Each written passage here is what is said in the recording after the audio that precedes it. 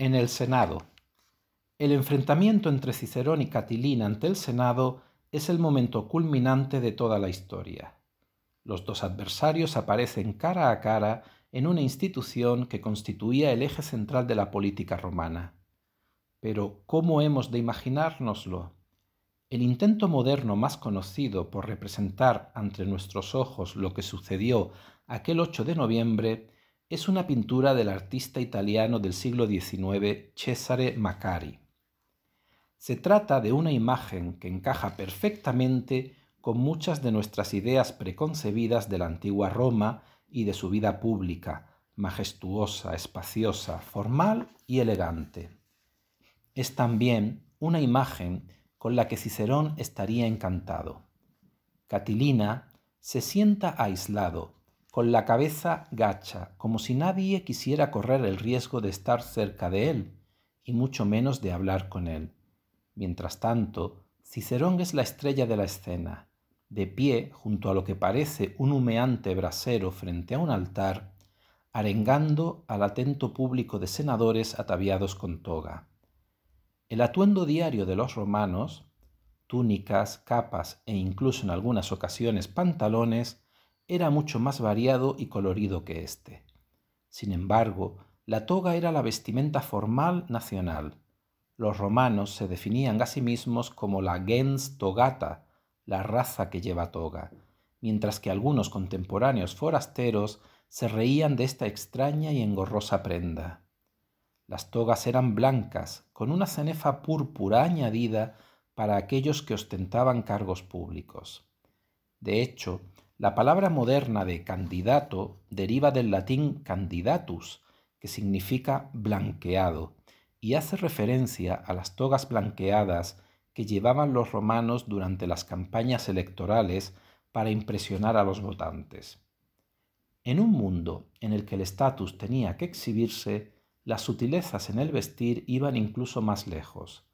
Había también una ancha franja púrpura en las túnicas que los senadores llevaban debajo de la toga, y otra ligeramente más estrecha si uno pertenecía al rango inferior de la sociedad romana, el ecuestre o de caballeros, y un calzado especial para ambos rangos.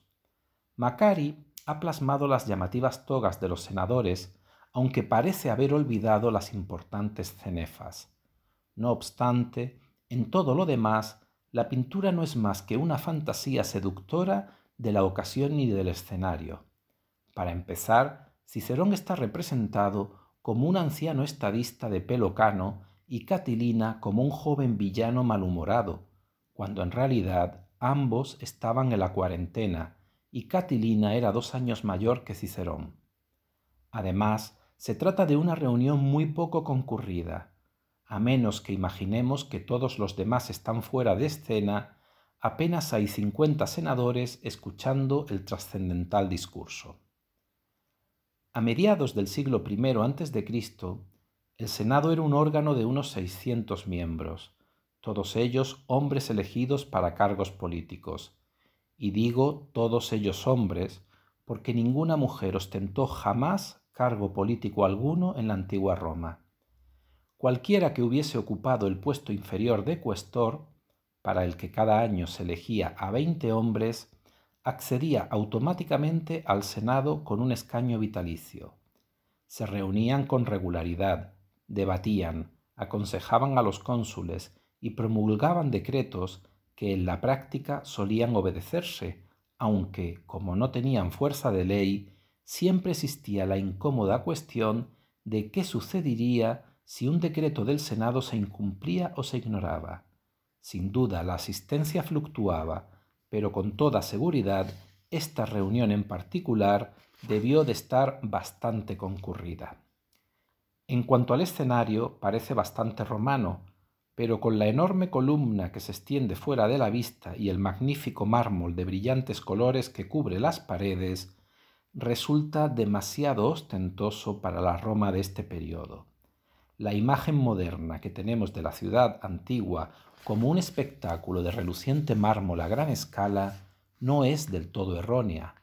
No obstante, se trata de una evolución posterior en la historia de Roma, que empezó con la llegada del gobierno de un solo hombre bajo los emperadores y con la primera explotación sistemática de las canteras de mármol de Carrara en el norte de Italia, más de treinta años después de la crisis de Catilina.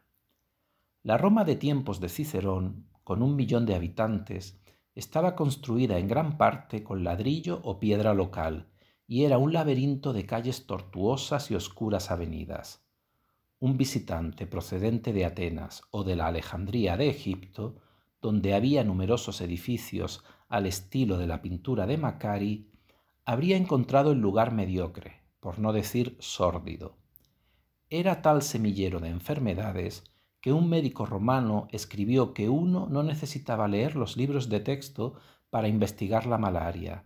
En la ciudad de Roma se convivía con ella.